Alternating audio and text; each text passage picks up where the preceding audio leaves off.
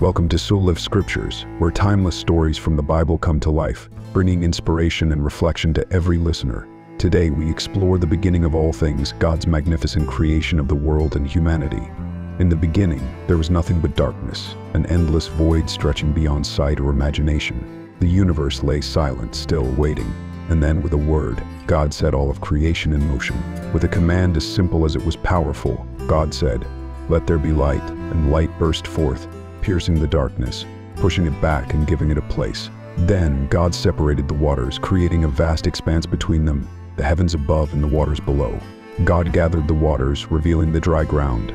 Upon it, he caused the earth to bring forth every kind of plant and tree, each one bearing seeds and fruit.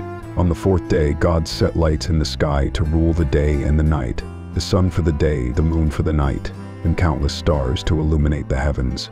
Then, God filled the waters with every kind of sea creature, from the tiniest fish to the great whales. In the sky, he created birds to soar and sing.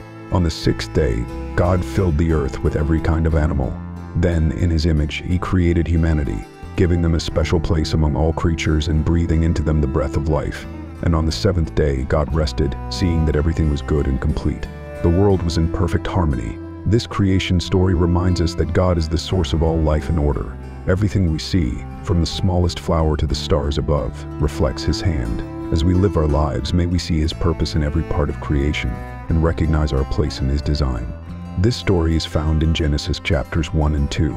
Take some time to read and reflect on these verses to see how God's creation reveals His character. Thank you for joining us on Soul Lift Scriptures.